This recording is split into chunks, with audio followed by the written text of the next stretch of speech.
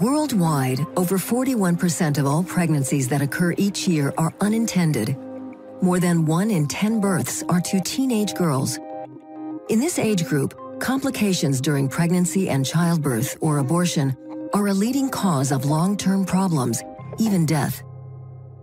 Almost all of this could be prevented through the effective use of contraception. That's the opening of a video about World Population Day, which you can find at yourlife.com, a very impressive website with lots of useful information about contraceptive methods. World Contraception Day, September 26th. Get out your condoms. Contraception is so much more than condoms, Dave. Let's talk in detail about the most important family planning tool contraception next on the Overpopulation Podcast.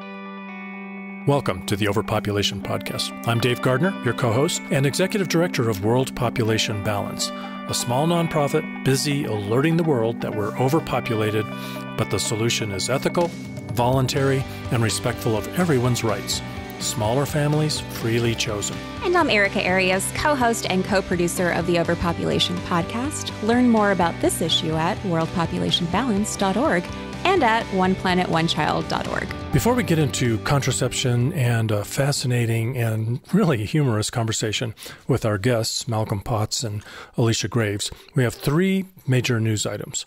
First, our One Planet, One Child billboard campaign has kicked things up a notch. On the 21st of September, our billboards and transit shelter ads went up in Vancouver, Canada. More about that later in the episode. News item number two, Erika.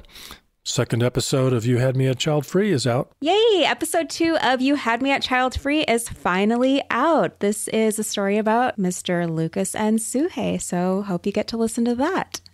Yeah, they're pretty fascinating couple, pretty smart, so I would recommend it highly. Third, this just in Planet of the Humans, the uh, Michael Moore executive produced documentary that we spent quite a bit of time talking about. Millions and millions of people saw it uh, this spring. Director Jeff Gibbs has scheduled a series of virtual events in Canada in October. Now, Erika, I don't know why Canada, we're doing billboards in Canada, and Jeff Gibbs is doing virtual events in Canada. So they're on to us. We're all going to be north of the border. anyway, these virtual events are called cleverly Battle for the Planet of the Humans. I got a kick out of that. And it's a one hour discussion with Jeff Gibbs and his co producer, scholar, Ozzie Zehner, pretty smart guy. There are several dates throughout the month because they've set a different date for different cities across Canada. Now, I went ahead and registered for the Toronto one, uh, even though I don't live in Toronto. So I don't think it's geographically going to uh, keep you out if you live in Australia or Sweden or you want to do a different city than you live in. But but clearly, if you're in one of those cities in Canada, you probably want to go to the event that is for your city because there might be some specific things about issues related to uh, sustainability in your community. Interesting. So all in Canada. Is there plans to also do this for United States? I don't or? know. I haven't heard much from them and I didn't see anything about it. And this is not free. It costs a little bit of money, but it might be worth spending a few bucks. And then news yeah. item number four, moving right along because we've got such a great conversation coming up. The WWF released on the 9th of September the 2020 Living Planet Report. This comes out every two years and it is a pretty darn comprehensive report card for uh, really kind of for how well we're behaving on the planet, how we're getting along with the planet, how the planet is doing. And it's largely doing well or not so well based on how well we're behaving. No surprise to you, Erika, we're not behaving that well, are we? Not at all. no. And in fact, the headline from this is Vertebrate species populations have declined by 68% since 1970. I didn't get to read the full report, Dave. It was about 80 something pages, but it was, um, you know, I read enough because I, I was, I was really hopeful that they would eventually stop tiptoeing around the issue of population. They would actually start giving it the recognition that it deserves. There were certain parts of the report where they spoke a little bit about COVID and climate change and all of these issues that we're seeing today. So I thought, okay, this would be the perfect opportunity to speak a little bit about population or about actual solutions that we have to solve these problems. And they did not go there at all. Not yeah. even close. Yeah, and I, you know, my suspicion is that, as the case with most environmental NGOs, is they tiptoe around the human population issue. They might mention that with human population numbers where they are and growing as expected, there's a lot of pressure on our ecosystems. Here is the report card. Here are the problems. But rarely do they come back and return to human population numbers when they're talking about solutions. And, you know, we're not suggesting that you can ignore all the other solutions if you just get a handle on our numbers. Getting a handle on our numbers isn't going to be sufficient to get us back into sustainable balance with nature. But if we don't get a handle on our, our numbers, we're never going to get back into sustainable balance. And all of those other efforts will be for naught. They will be, uh, you know, one step ahead and two steps back. Right on the dot. Yeah. A link in the show notes to uh, news reports about this and the report itself. And also, we'll include a link in the show notes to a really excellent response that was penned by Robin Maynard, the director of the UK based Population Matters. Really, an excellent response. Uh, and I just want to share with you one thing he pointed out was that the Living Planet report neglects to note that the population of one vertebrate species, us, has doubled over that same period that we lost 68% of other vertebrate species. The topic of doing something about human population numbers is just avoided. And I'm not quoting Robin anymore. Um, I just want to editorialize briefly and say, you know, we don't have to do anything dramatic other than stop tiptoeing around the subject. The solutions, the solutions are ethical, voluntary, humanitarian. We're already demonstrating them. We just need to get over our fear of them, celebrate them, accelerate them a little bit. Right. They just need to do their job. and there you go educate the public about the reality of the situation. I mean, there wasn't even any mentioning about, you know, choosing smaller families or even liberating women all around the world to choose the size of their family, like to choose yeah. the number of children they want. So, how do you do that? Well, contraception. In this episode, we talk all about that. And World Contraception Day is coming up, and it's a really important day. And there was no mentioning of that. It just assumes that population is just going to keep growing and that there's nothing that we can do about it. But that's just not true. Brilliant segue to our guests, Erika. Well done. So let's get on with it. let's get on with it. In honor of World Contraception Day 2020, I'm really excited to introduce two experts from UC Berkeley who are especially knowledgeable about reproductive health and why this day is especially important. Here today with us are Dr. David Malcolm Potts, who is a human reproductive scientist and professor of public health at the School of Public Health at the University of California, Berkeley. Dr. Potts completed his medical degree and his PhD in embryology at the University of Cambridge and is the founding director of the Bixby Center for Population Health and Sustainability at the School of Public Health. For over a decade, while he was the first medical director of the International Planned Parenthood Federation, he introduced family planning methods into scores of developing countries. As CEO of the Family Health International, he launched the first large scale studies of maternal mortality, which helped start the worldwide Safe Motherhood Initiative. He has published 10 books and over 350 scientific papers and articles. His books include Abortion, Textbook of Contraceptive Practice, Queen Victoria's Gene, Ever Since Adam and Eve, The Evolution of Human Sexuality, and Sex and War How Biology Explains Warfare and Terrorism, and offers a path to a safer world. His current efforts focus on the OASIS, which stands for Organizing to Advance Solutions in the Sahel Initiative, which is a global multidisciplinary partnership working on solutions to the increasingly complex problems in global health and development in Sahel. Alisha Graves is also here with us today, and she is the co founder of the OASIS initiative. Alisha completed her master's in public health with an emphasis on international maternal and child health at the UC Berkeley School of Public Health in 2006. Alisha worked for six years as the director for venture strategies for health and development to improve access to misoprostol, a generic essential medicine. In this role, she worked on policy initiatives, drug registration, and operations research in sub Saharan Africa and Southeast Asia. Wow, that's a mouthful. Thanks for joining us. Welcome, everybody. Thank you. Ordinarily, I would tell Erika, you've got to shorten that introduction, but we're just talking to two very, very impressive people who have phenomenal knowledge. So, so I wanted everybody to know about the certainly the long and storied career of Malcolm Potts, and I'm really glad to get a chance to uh, get to meet you, Alisha. I mean, the focus of our episode today will be to hear a little bit more from the experts, Malcolm and Alisha, to uh, really prominent speakers about reproductive health and um, making sure that women have access to contraception all around the world. But World Contraception Day is really important, and I want to go ahead and just say that this is a day that launched in 2007 and has since fallen on September. September 26th every year. The purpose of this day is just to improve awareness of contraception and to enable young people all around the world to make informed choices about their sexual and reproductive health. And the annual worldwide campaign centers around a vision where every pregnancy is wanted. And this is an idea that we talk a lot about here on the Overpopulation podcast. And it's it's just really important that we say that and we acknowledge that. You can find out more about all of this stuff at their website, which is www.yourlife.com. That's your-life.com.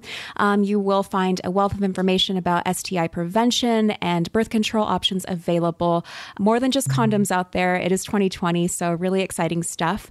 We will provide links at our show notes for you to find out more about that. So, without further ado, um, Malcolm and Alisha. I guess, do you guys have anything to kind of say about World Contraception Day before we kind of jump into main topics? I'm a gynecologist. My paternal grandmother died in childbirth. And that's one of the most horrible things that can possibly happen. Not only does the woman dead, but the existing children suffer. And so I'm very concerned about how to stop maternal deaths. And one of the most powerful methods is by making family planning available. We did a study where we compared um, maternal deaths in Sweden in 1900 and in the year 2000. And in 1900, if they'd had obstetric things, but they had the family planning of today, then they would have had 50% fewer deaths. So, as a gynecologist, I have to recognize that the wonderful reduction in maternal deaths during the 20th century is half due to clever gynecologists like me, but half due to giving women choices so they do not have children when it's very young or very old, or if they are, um, have some other risk factor. So, family planning saves lives. It also saves infants' lives. If you space your children more than three or four years apart, they're more likely to survive. So, family planning prevents literally many millions of infant deaths every year. The default position for any normal, loving, human heterosexual couple is about 10 children, unless they have a way to separate sex from childbirth. Queen Victoria was the richest woman in the world. She was very well educated, but she and Albert had no way to separate sex from childbirth. So she ended up having 10 children. She hated being pregnant, but she couldn't stop it. So making family planning accessible to people is the key to giving women the freedom to control their own bodies. When you're a slave, you cannot make decisions about your body. If you're a woman and you don't have access to family planning, you cannot make decisions about when to have children. You are a slave, and that's something we want to change. So, family planning is essential, highly cost effective, and it's not telling women what to do, it's giving them what they want. Now, Malcolm, you've had to be a defender of that for decades, haven't you? What, does it confound you that you have to work so hard to defend that? Yes, it, I think many societies, including the United States to some extent, have a strong patriarchal tradition. Men are always trying to control women's reproductive lives, and women are trying to escape that control. Basically, that is the history of family planning over the last 4,000 years. In fact, 4,000 years ago, there was an oral contraceptive called silphium. It was a plant that seems to have been effective when used as a medicine. It's mentioned by Hippocrates and Pliny the Elder and various other people. And it was so successful, it was harvested to extinction. so when we had a good contraceptive, we destroyed it. Now we have a good choice. I mean, condoms are a good idea if it's a, a new sexual relationship. If you're a woman, you don't want to get a sexually transmitted disease and become infertile. The pill is an excellent choice, and I will come back to that. But hormone releasing contraceptives are reversible and very effective. So the modern woman spends about 10 years or more trying not to get pregnant. Then she, on average, has about two children in about five years. And she'll spend another 10 years trying not to get pregnant again before the menopause. So women spend most of their adult life trying not to get pregnant. So making contraception accessible is absolutely vital to the health and welfare and happiness of men as well as women across this country and across the planet. So men spend most of their time trying to have sex, and the women spend most of their time trying not to get pregnant. Trying to separate sex from getting pregnant. And I would just add, Malcolm, um, when you say modern women, I think you're referring to women in parts of the world where women have equal choice, where women have aspirations to work outside yeah. the home where women are equally educated and can have access to contraception. And that is, uh, it's wild to think about the decades that we spend trying to separate sex from pregnancy and childbearing. And um, the very short window of time where, you know, women in, let's say, uh, most of North America and Western Europe and some other parts of the world are, you know, on average having having the two children that they want. A startling fact is the following I was lucky enough to know Gregory Pincus, who invented the pill. When the pill was invented in Boston in the 1950s and 60s, it was illegal to use contraceptives in Massachusetts. They had to do their first studies in Puerto Rico. So this really tells you something. It was illegal to use a contraceptive in the very state that invented all contraceptives. Wow. That was changed by the Griswold opinion of the Supreme Court in 1965. But until 1965, many, many societies, many states made contraception illegal. I never thought about the, the fact that my parents were married in, in Fall River, Massachusetts in the mid 60s. And uh, I wonder if my mom was using contraception illegally because she didn't have my older brother until a few years after their marriage. I'm going to have to look into the timeline. It's hard to believe that it's you don't have to go that far back in history to reach the dark ages of good reproductive rights and reproductive health for women. Because the drive to decide their own pattern of childbearing is so strong, even when family planning is illegal or abortion is illegal, people still break the law. But often they suffer, they have to be exploited or get fined or go to prison or, or, or suffer bad side effects like women who have unsafe abortions. Right. And, you know, next to what could be a form of enslavement for the rest of their lives, that might be the risk that yes. they're willing to take, unfortunately. And it's it's putting themselves at risk, it's putting that prospective child at risk. Yeah, it's well, um, I, I, yeah, I love that you compared it to um, yeah. slavery. It is it is in yeah. fact a form of slavery. I know that. I, I, go ahead, Malcolm. Um, my experience in London when abortion was illegal, and I worked in a hospital was that once a woman has decided to end that pregnancy, nothing will stop her. Not the price, not the fear, not the exploitation. Um, I did a study in Ethiopia. One of the things we asked women who had an unsafe abortion, did they have to give sex to the abortionist as well as pay money? And about 10% did. As many abortionists wow. are men. And so giving sex to the man is part of your payment. And that's just a sort of viscerally disturbing fact about how women are exploited and how much they suffer when contraception and safe abortion are illegal. Sub Saharan Africa is the part of the world that has the highest number of abortion related deaths. And fortunately, that is falling. But as of a few years back, it was about uh, 9% of maternal deaths due to unsafe abortion. That's about 16,000 deaths of women um, in the prime of their life per year. And we know that almost all of those are avoidable because abortion is a procedure. So I think it's uh, important to keep that in mind.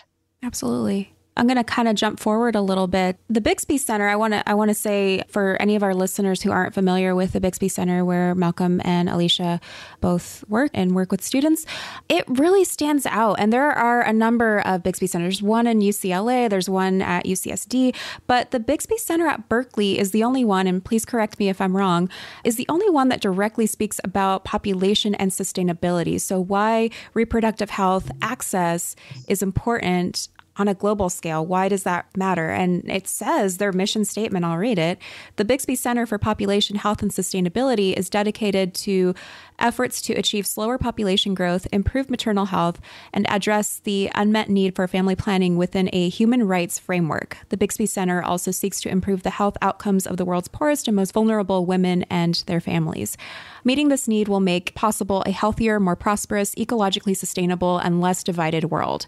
That's just core, right, right there. I mean, we talk about that here on this podcast. And when I first stumbled upon the Bixby Center at UC Berkeley, I reached out to Malcolm maybe about a year ago, just really, you know, fangirling and saying, oh my goodness, I love that this a center like this exists because it's just it's very rare to see something like this in academia where you have reproductive health advocacy and sustainable population and environmental advocates work together for the same mission and they might be focusing on different projects but the main goal is really just to ensure a healthy and happy future for women, children, whether they're alive today or whether they will be alive in generations to come. So it's all about everybody's health and wellness. And we talk a lot about that here. So I just wanted to make a, a side note about that. Erika, in fairness to UCSF, Joe Speidel, used to be USAID, is also a leader in family planning, and UCSF, I think, has an excellent record in trying to make family planning accessible. Right, right. But do they directly speak about population sustainability? Yeah, I think uh, Malcolm and the current chair of the Bixby Center, Dr. Ndola Prata, and Malcolm's wife and my former boss, Martha Campbell, have um, gone a long way to promote the idea that it is it's not only acceptable it's necessary to both be concerned about sexual reproductive rights and population and Martha had a great of the population factor that we have to keep population in mind as we think about all of the rights and all of the, for example, sustainable development goals we want to see did and achieved around the world. And in fact, if we don't think about population in very rapidly growing parts of the world, it's going to be impossible to secure individual reproductive rights and health. Because take the context of Niger, for example, which is growing at 3.9% a year already huge deficiencies in health, huge deficiencies in education. It's impossible to imagine for me and for me, I've tried to think about programs with how these countries can both close that gap and keep up with this pace of population growth and ensure that every woman in these countries have quality education, have access to health services and, you know, reproductive health and rights guaranteed. You can't only think about the individual. And of course, you can't only think about the population context. It's necessary to think about both. I'm so glad you said that. And you, you have, you know, why is this even noteworthy? It's noteworthy because there's been so much pressure for many, many years to be covert about the population number aspect of family planning, right? Yeah. So my motto has always been family planning is listening to what people want, not telling them what to do. There are approximately 80 million more births and deaths since the last population day a year ago. And there are also approximately 80 million unintended pregnancies in the world every year. That's what surveys suggest. So really family planning ought to be a breeze because, you know, we could balance the world's population growth tomorrow if we could make things reasonably accessible. And currently, only 1% of foreign aid goes to family planning. It's never been more than that. And a great deal was achieved in that way. I mean, countries like South Korea, where I work, Thailand, reasonably economically successful and reasonably sort of semi democratic at the present moment.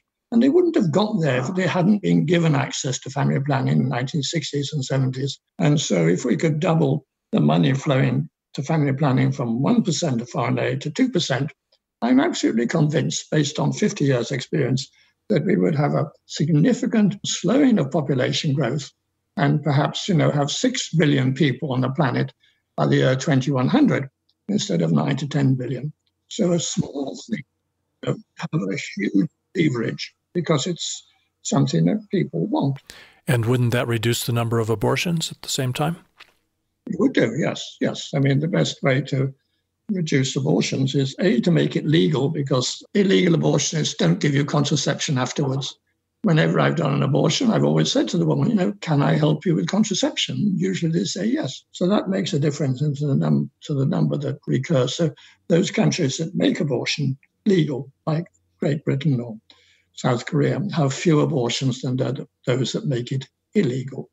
On unintended pregnancy, Malcolm or Alisha, or both of you, would you say most people are familiar with LARC options? Or are we still really relying strongly on the pill and condoms? Um, I think, first of all, there's a lot of misinformation about contraception, particularly about the pill. And everybody would benefit if, if there was more open, accurate information on all methods of contraception. And that needs exactly what you're doing in this podcast. It needs something that we do in, in school, that we do when we educate people. We need to give people easy access to information. We need to advertise things, and we need a sense of humor. Um, condoms are one of the oldest, well, coitus interruptus, uh, which Onan practiced in the Old Testament and was killed by God for doing that, is the oldest method we have. But condoms go back to the 16th century. But you need a sense of humor. So I once owned proudly owned the world's largest condom. it was 34 feet across. It was a 77,000 cubic foot hot air balloon. It was yellow, nipple ended, and it was the only condom you needed air traffic control to get it up, and the only condom that could carry two people. well, Malcolm, I'm pretty impressed that you needed a condom 34 feet. Even the threat of flying You've got bragging rights there. North Carolina got a lot of a lot of That's great. And what were you doing with that? Um, the certificate of latex lifetime that runs out in condoms. Beware of that. Condoms have quite a short shelf life. They're a high quality latex, and you always want to look at the date when you do it. Well, you know, we really wanted to pick your brains about uh, these other forms of contraception besides the condom because we had these conversations. We're in the middle of, uh, you know, a, a, billboard campaign in Vancouver that uh, we'll talk about a little bit at the end of this podcast. And we needed, you know, some kind of a visual symbol of family planning. And it seemed like a condom was a you know really quickly universally understood symbol. And yet uh, you know erika wisely said dave we can't do that because you know how many 22 year old guys even want to use a condom. That's low on their priority list. And here we are, people in the overdeveloped world, people who are empowered and educated. Apparently, many of them really don't fully understand all the other options available to them. Yeah, I mean, it, I'm sorry. I'll just quickly say to Dave and, and uh, Malcolm and Alisha that that is also grounded by a lot of research on uh, like sexuality research on motivations and people making decisions prior to engaging in sexual inter- um, gosh i guess um, before having sex, they um, a lot of people don't use condoms, uh, and there are a lot of different factors like familiarity. If you are familiar with your partner, or, or even a new partner who you you know feel a sense of safety, we're really bad at making decisions, especially sexual decisions. And so, you know, if we feel even just the slightest bit of safe around somebody, the research kind of tells us we're not going to use a condom. So that was my concern with using something that a lot of people are not really that motivated to use, even though they know the the benefits of using condoms. yeah, and there's still a lot of importance there in terms of preventing uh, sexually transmitted diseases that some of the other contraceptive options don't do. But oh, yeah. uh, Alisha, I hope that you have some words of wisdom for us. I wanted to say I see both of your points. I mean, I think the the great thing about the condom is it's in the shape of a penis, and so it will get a lot more attention than, for example, an IUD, which people will have no idea what that looks like, even people who may have one inserted. Yeah. But I think, Erika, to your original question about how knowledgeable people are about these long acting reversible contraception, I think in parts of the world where people have good health services where they have counseling, where there's comprehensive sex education taught at school. And that's not, there are a lot of places in the US where that's not currently happening.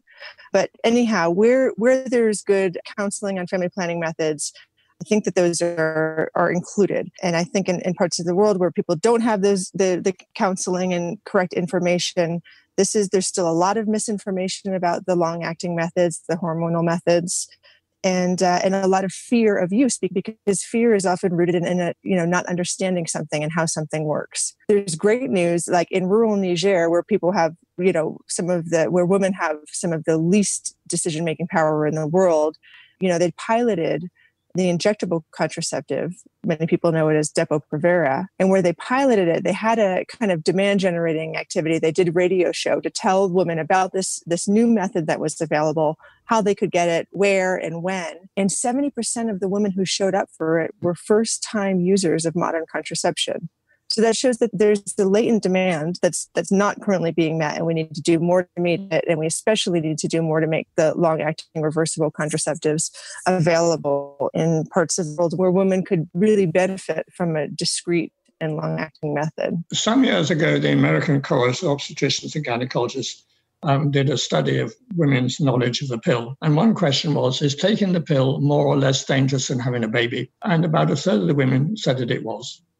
Secondly, the question was, does a pill give you cancer? And about half the women said it did. And I then repeated that study in 12 other countries and got very much the same results. And that really is uh, tragic because the pill is the only thing that I can prescribe as a doctor which significantly reduces the lifetime risk of several cancers, ovarian and uterine cancer, melanomas, bowel cancer. So uh, we need to sort of understand the, the pill, first of all, in the framework of the way that the modern woman is burdened with many risks of reproduction, which our ancestors didn't have. In a hunter gatherer society, the mean age of puberty is 18 years, and that's the mean age. So some girls don't ovulate until they're 21. They could have gone to university, but they're living in the highlands of New Guinea, so they can't do that. So and then we originally um, spaced our babies by intensive breastfeeding in women that were not very well fed and were probably doing a lot of exercise. And in that framework, intensive breastfeeding is a very effective contraception. It suppresses ovulation. So basically, oral contraceptives simply imitate breastfeeding. They have exactly the same hormone profile to prevent ovulation. So nothing could be more uh, natural and it's our ancestors may have had 60 or less fewer menses in a lifetime. The modern woman can have 300 or more in a lifetime. That is highly unnatural. It's also dangerous. The more frequently you shed the uterine epithelium and then you have multiplied, the cells multiply, they replace it. Multiplying cells always have a risk of um, developing a mutation that's going to give you cancer. So that's why the pill um, using the pill significantly reduces uterine cancer. So we need to see this in a broader context and how, particularly how oral contraceptives sort of recreate the world in which we evolved. And so a million women in the United States use the pill for non contraceptive benefits. And my vision is that in coming years, more and more women uh, will take the pill simply to eliminate menstrual periods. Why have these tiresome things? You don't need to just throw away the reminder tablets and continue taking the pill. I did the world's first study on that about 20 years ago, and half the women in the study said, This is the most fantastic thing. Why didn't you do it earlier? And the other half said, We feel it's unnatural not to bleed 28 days. We're always giving women choices. But I think in future, more and more women will control this tiresome, often painful, messy process of menstruation, which only really evolved because it was a pretty rare event. Um, so that I think is an interesting sort of perspective on the pill. Yeah, mm-hmm. the first time I heard about this idea was in a um, cultural anthropology course. One of my professors shared this idea, and the number of hands that went up after was just everybody wanted to talk about that because nobody, I mean, we are brought up to think we're supposed to have our periods. Like that is our entrance into womanhood. And every month is just a reminder of that. And I, mean, it, this, this was just a, an idea that we were all really obsessed with. That really is uh, misinformation. I mean, hundreds of menstrual cycles is unnatural and dangerous. So having a few menstrual cycles is, is natural there are a few of the, the other large primates, the orangutans and gorillas, also menstruate. And there's also a species of bats that menstruates. And menstruation really is a way, when pregnancy does not occur, of speeding up the next possible pregnancy. And that's what Charles Darwin or God intended for, you know, the evolution of human sexuality, that you should be able to get pregnant quite quickly. And that's why it's quicker to shed the tissue, you don't use and to reabsorb it as most other animals do. Well, I got an IUD after my, my second and final child, and uh, that was eight years ago, and I haven't had a period since, and I, I don't miss it at all. Same here, girl. I've had three IUDs, no period. I don't remember what it's like to have a period. I know. I'm very patient with my friends who complain about theirs now because I don't. I'm lacking the uh, empathy. I was actually going to get my um, tubal ligation this year before COVID, and my doctor actually asked me, "Well, are you sure? Don't you like not having a period? Because if you get this done, yes. you're going to have a period again." And I had to really yeah. think about that. like, mm, I don't know. Well, and I want to ask, a, as a one of the men, you know, I'm going to separate myself from Malcolm because wow, what a fount of knowledge you are. Me, I'm going to plead ignorance here a little bit. So the dumb question I want to ask is, I thought that uh, there were some negative side effects of the pill that made it kind of less desirable for at least some significant portion of women out there. No, when the pill was first introduced, and it was a high dose, and there were some deaths from cardiovascular disease. And people were very afraid of it. And I remember the women I was giving it to, and I worked out, I said, look, the pill has risks. It's equivalent to smoking one third of a cigarette a day. And the women would relax and take it. We don't even have that risk today.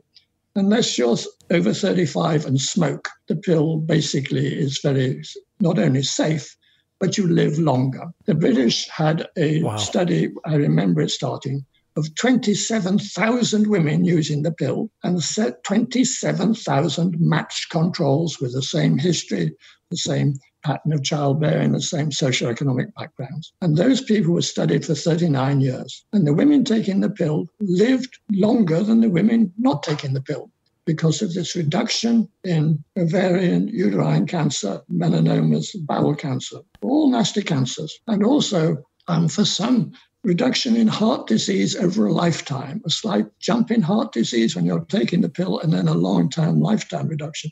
So the pill really is taking us back to the world in which we women evolved, in which our pattern of uh, childbearing evolved uh, uh with a late puberty, and probably several years between each pregnancy brought about by intensive breastfeeding in basically hungry women that are exercising a lot when ovulation is suppressed. So the pill is, there could not be anything more natural than the, the pill. And um, a third of teenagers are taking the pill for non contraceptive reasons because it gives them lighter, um, less painful, more regular periods. So, this way in which the pill can eliminate periods is, I think, something that women need to know about uh, is perfectly safe. In fact, they probably are better off if they do suppress periods for many intervals. So we've got to see where we came from in evolution. And the modern woman is not using her reproductive system in the way that God or Charles Darwin intended. You're not having that early puberty and you're having uh, more periods. For the atheists and uh, feminists listening, I'd say uh, another way to phrase what Malcolm just said is that when you say modern women aren't using our periods the way that God or Charles Darwin intended, I think you mean that something has gone a little bit off in terms of the the frequency and then the total number of years that women have periods for, and that it's not really in line with what's best for our bodies. I hear what you're saying, Malcolm. I, I liked the way you said it, but I think some women might have a knee jerk reaction to no man's going to tell me how I'm going to have my period, and I don't believe in God. so, 12 or more years ago, I published a scientific paper projecting population growth in the Sahel. The Sahel is the Arabic word for shore, this is the shore of the Sahara Desert. Basically, we're focused on the francophone countries of Africa, like Burkina Faso, Mali, Chad, etc. And there was going to be the most rapid population growth in the history of humankind. And universities are interesting places because I was at the meeting, I've forgotten the topic. I just happened to sit next to somebody from the, the laboratory who was a climatologist. And I was just chatting away. And he said, Well, that's interesting. And he has a supercomputer. And he went away and ran the supercomputer. And he just fell off his chair because he found that Sahel has the most rapid climate change in the world. So when you put the most rapid population growth in the world with the most rapid climate change, you have a sort of existential challenge. And that is what Alisha and I and a growing number of people and our wonderful colleagues in Sahel itself have been focusing on. Because now is the time to act. Now is the time to give women and men the choices that they need. And as Alisha was saying, if you give offer them something like Depo-Provera, they will take it. And um, we've been also striving with considerable success to keep girls in secondary education. And in about 3,000 girls, we've raised the age of marriage from 14.9, that was the average age, means, means they're 12 year old brides, to 17 and a half. And for an adolescent woman, that's a big stride. So, you know, we know what to do. Uh, we have to have the funds and the political will to do it. I would add to that, Malcolm. Niger is, is really at the heart of the Sahel, and uh, it's just north of Nigeria for listeners. It's the country with the fastest growing population in the world. It's one of the poorest countries in the world, and it has been and will continue to be unduly affected by climate change. With the air temperatures going to increase by two to three degrees Celsius, that's about three and a half to five and a half degrees Fahrenheit by middle of the century. Most of the people are smallholder farmers or pastoralists that depend on the land that's being compromised, both because of population pressures and because of climate change. But what I want to say is this I gave the example earlier about this latent demand for modern contraception, but it's also important to acknowledge that there's really a desire for large families. And in fact, women report wanting 10 children, and they currently have about seven and a half. So it has to be acknowledged. And it's not that it can't be that there are women who want large families and there are women who want to space or limit their childbearing in the same country, of course. But I think a big part of the picture in a lot of sub Saharan Africa and other parts of the world where, where women don't have the real decision making power over their lives and girls don't have access to education is that question of education is key and when girls aren't um, staying in school, they're often married early. They go into a marriage um, with very little power in the family dynamic. And I think that the more we can do in, in those parts of the world to educate girls, the more it's going to contribute to demand generation. Because when women aspire to work outside the house, when they have dreams, they're more likely to want to use family planning. They have a better ability to access family planning, understand it, and just importantly, to negotiate with their partners and their families. So, I want to mention that that's an important part of what we're trying to do is scale up this special approach to keeping girls in school that's called safe spaces for girls. Northern Nigeria, Niger, and Chad are the countries with the earliest age of marriage. And in the part of northern Nigeria where we've been working called Kaduna State, for the girls participating in the Safe Space program, we saw an increase in the age of marriage from 14.9 to 17.5 years. And that two and a half years period is critical for the development of a girl's body, but also for a chance for her to get more out of school, learn more about life, find her voice, etc. So that's impressive. And then the other point is that the, the, the reason that there was that delay in marriage is because girls were staying in school and the percent of girls who completed secondary school amongst our increased from about 4% to over 80% in the communities where we are offering safe space programming. How is that program being funded? Good question, Dave. It's currently being funded from donations from individuals and from foundations. And we are seeing more and more that big donors, like government donors, overseas aid, World Bank, et cetera, are investing in this type of program. But my back of the envelope calculation is there are about 5 million early adolescent girls in the Hausa ethnic group in northern Nigeria and Niger who would benefit from this kind of programming. And we're currently only able to reach about 50,000. We're mapping out a plan to scale up, and I think it needs to happen as quickly as, and as well as possible. So it's easy for our listeners who are inspired to contribute to the funding of this? It certainly is. If you go to venturestrategies.org, you can find a link to donate and you can specify that it's for girls' safe space programs. We'll add a link in the show notes for anybody who wants to contribute and help be a part of a really cool project. No, and it's been thrilling to see the success in that field. But access itself does have an impact. I mean, I've worked a lot in Thailand, in South Korea, in Bangladesh. When I started, the average total fertility rate was six, not very far off uh, Niger. And nobody I met said, I want to have two children. But some of them said, oh, well, perhaps I'll have five. And after a couple of years, some of them said, well, my neighbor's got five, perhaps I'll have four. And so accessibility, and as women and men understood that they control their fertility, sort of fed back into itself mm. and accelerated the fertility decline. But it began with the access with people talking about it. And you may may not wish to use this, but let, let me tell you a perfectly true story. about, in this case, about male sterilization vasectomy. Vasectomy is a very simple five minute operation. And an Indian friend of mine who was the uh, health officer for Mumbai, the huge city with enormous slums. And he was trying to make vasectomy available. And he had a little exhibition and it had a panel for the pill for an IUD for vasectomy. And behind the vasectomy panel, there was a man who'd had a vasectomy. And if somebody seemed interested, he would say, Well, would you like this operation? And a lot of men put their names or their thumbprints on a list. And they were told to come to the hospital, you know, on Tuesday evening at five o'clock. And very few of the people who put their name down came. so one day, Dr. Pai went to the railway station and saw a man put his thumbprint and talk to the person promoting vasectomy. And he went up to him and said, You know, so you're going to have a vasectomy? And the man said, I have five children. I live on the pavement. Don't ask me silly questions. I don't want any more. So Dr. Pai said, Are you going to come to the hospital at five o'clock on Tuesday? And the man said, No. And Pai shook him. He shouldn't have done that. He said, How can you be so stupid?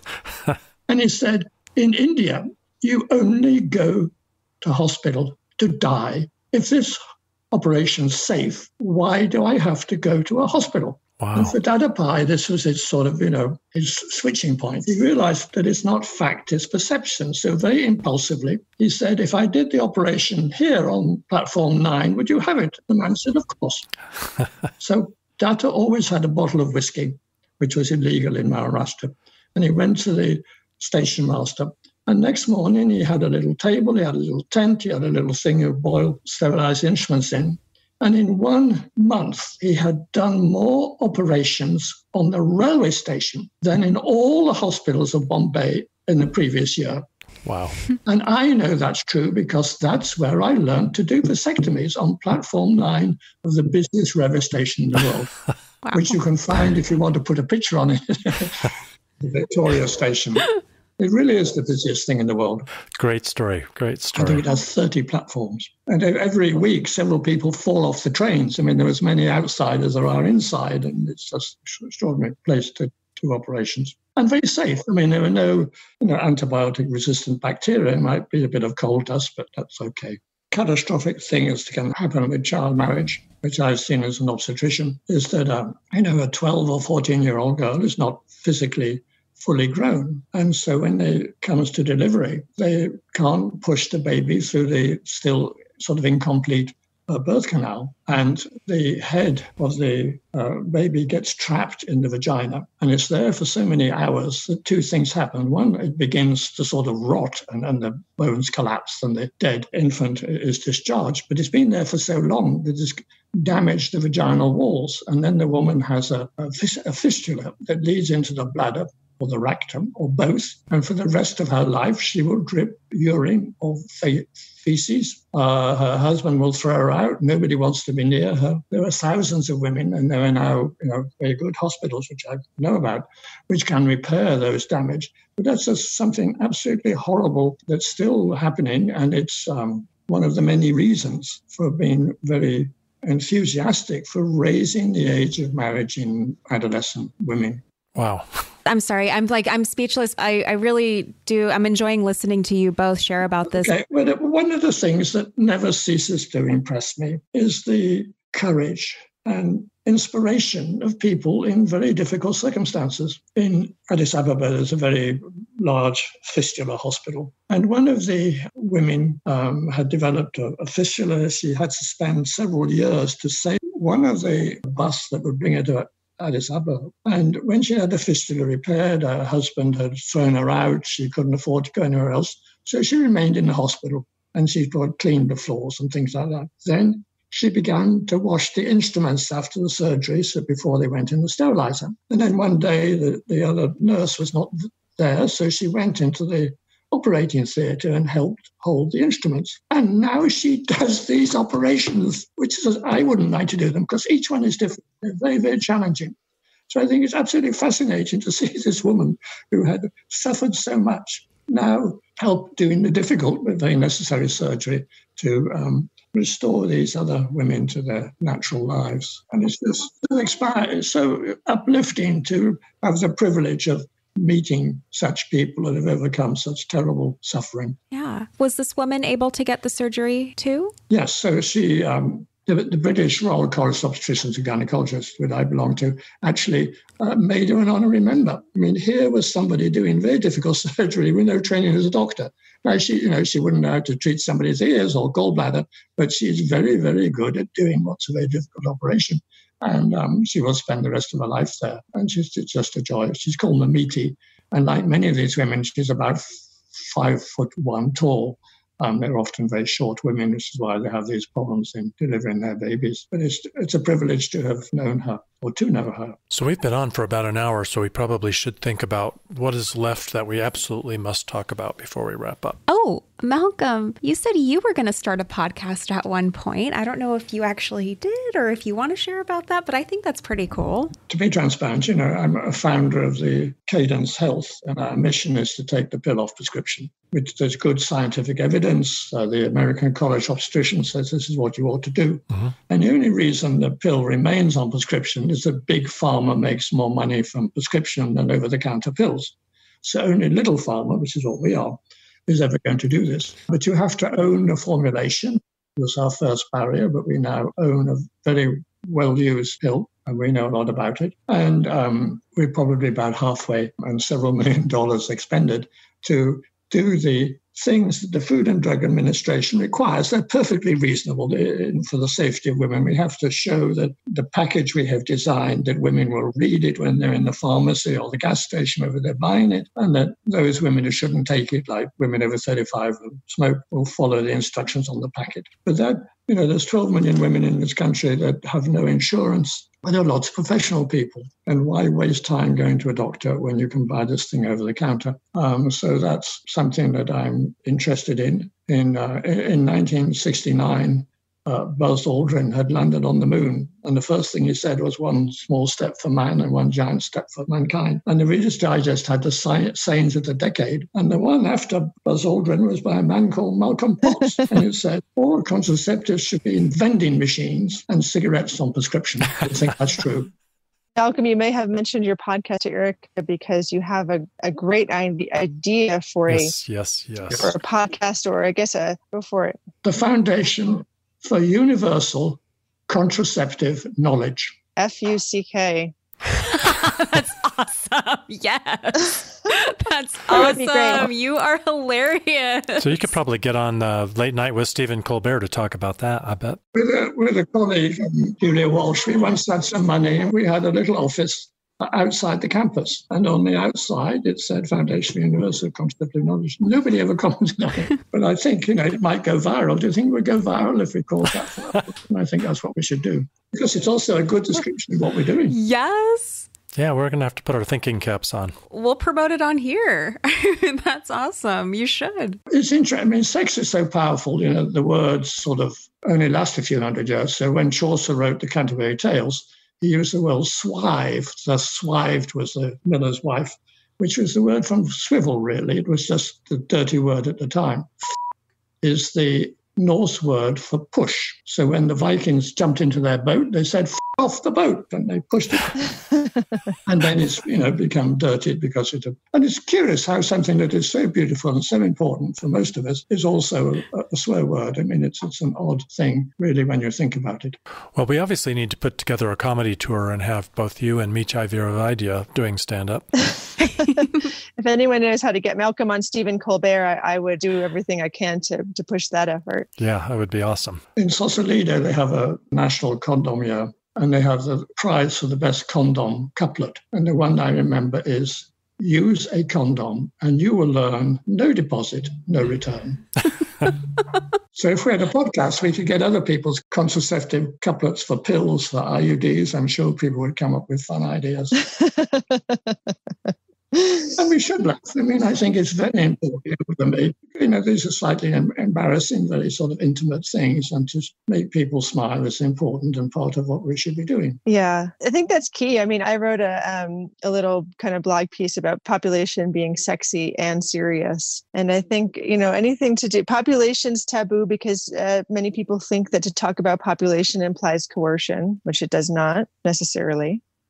And uh, and talking about sex is taboo because it, it's something private and something that makes most of us feel uncomfortable. But I think that we really have to push on these, push back on these because it's important for for women's health, for babies' health, and for for global sustainability. So I applaud what you're doing, and uh, this has been a pleasure. I'd like to put a link in the show notes to that. It's actually on our site, so I'll send the link here. And uh, I hope you can also share Malcolm's um, pill. Uh, Malcolm, if you want to bring people to liberatethepill.com, this is a good opportunity. Yes, okay.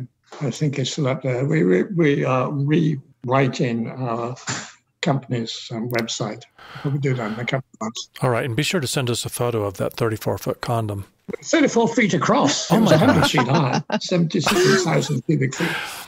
Needed a serious wide angle lens for that guy. This is a you know, good example of a sort of patriarchal society. Every year there's a huge condom festival in Albuquerque, and it's a special class, you know, for funny condoms. So uh, India has a elephant condom, and the people wouldn't allow our condom. They said it was disgusting.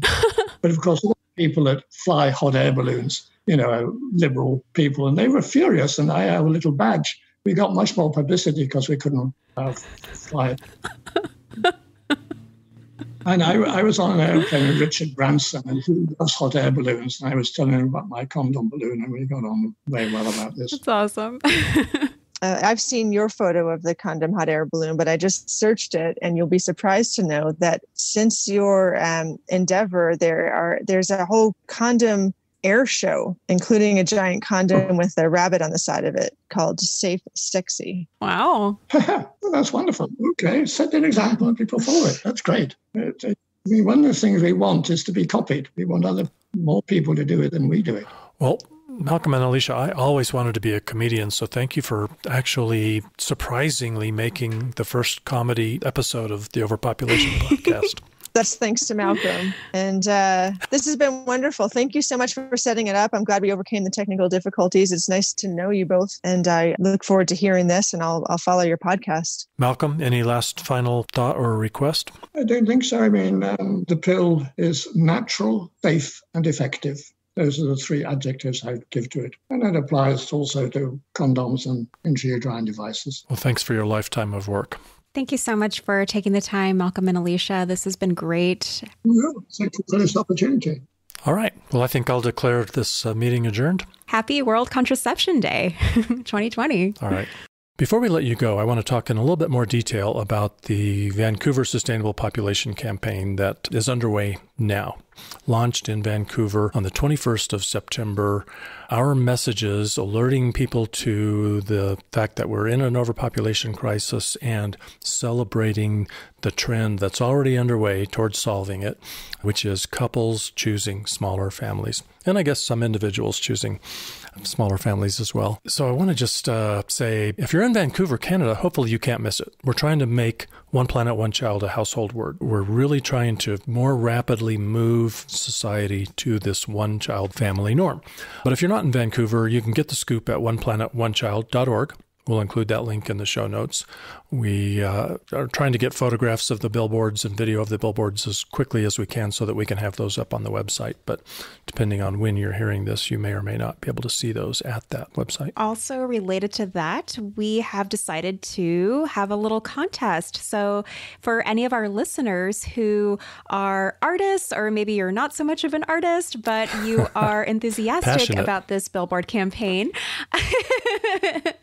yes, uh, we welcome all artists and aspiring artists to submit what they want to see on a billboard, whatever image or concept that you have, any messaging. Um, we really want to try to engage in the public and try to get you guys all involved because this, as you know, is an effort that requires all of our attention and all of our expertise. And, you know, it's it's not a one man show. So we are looking for everybody to share part in this really exciting project with us. So if you have an idea, send it our way. If you don't exactly have an idea and want some help making that idea come alive, definitely send us an email. We're more than happy to speak with you about it, to share more information about what this contest involves. And you can find out more on our World Population Balance Facebook page for details about our contest and also cash prizes. I was hoping you were going to mention that cash, serious cash.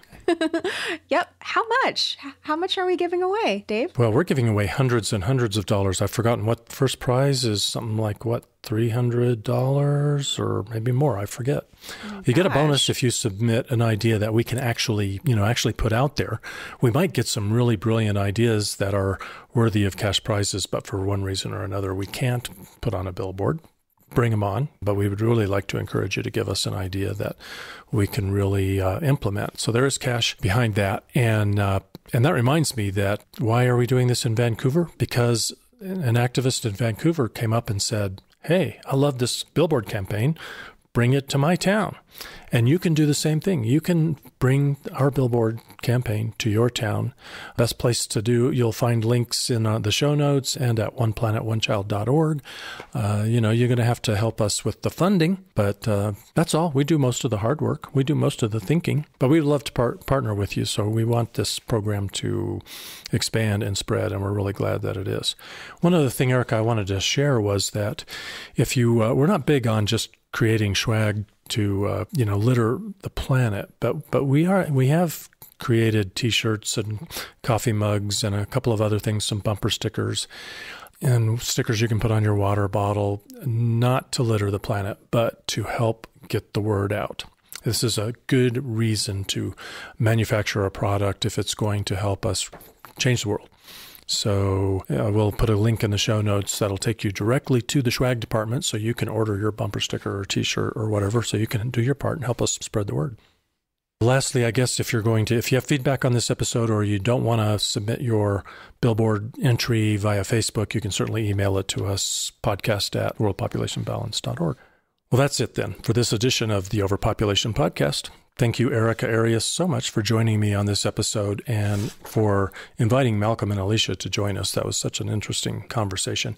And thank you for the vital work you're doing at World Population Balance. For those of you listening, visit worldpopulationbalance.org to learn more about how we can solve overpopulation. At the website, you can sign the Sustainable Population Pledge, you can listen to all our podcasts get on our email list, become a supporting member, make a donation to support our vital work. You can also find us on Facebook and Twitter. You can write to us because we want to hear from you and we often share your thoughts on the podcast. Please recommend this episode and any episode of the Overpopulation podcast to others, friends, family members, anybody who's curious about this subject. And don't forget to subscribe so you don't miss an episode. It's free. All right. I'm Dave Gardner, reminding you we know how to solve overpopulation. What are we waiting for?